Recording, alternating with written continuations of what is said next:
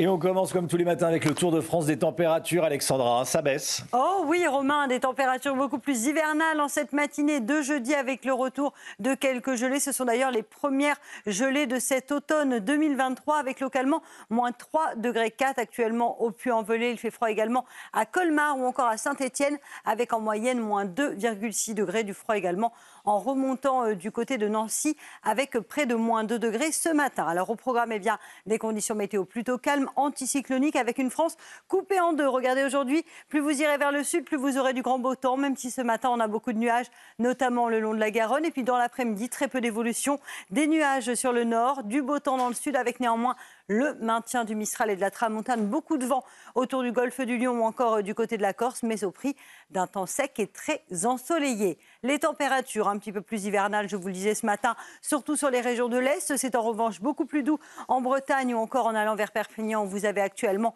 10 degrés. Et puis dans l'après-midi, les températures continuent à baisser. Température donc un petit peu fraîche, mais finalement conforme au normal de saison. On n'en a plus l'habitude avec 13 degrés à Paris, 7 degrés seulement à Grenoble. Vous aurez 9 degrés à Lyon et localement jusqu'à 15 degrés sous le soleil de Perpignan. La suite du programme vers un week-end un petit peu plus hivernal à partir de demain. On retrouvera des températures fraîches pour la saison et surtout de la neige à très basse altitude. On en reparle dans votre prochain bulletin.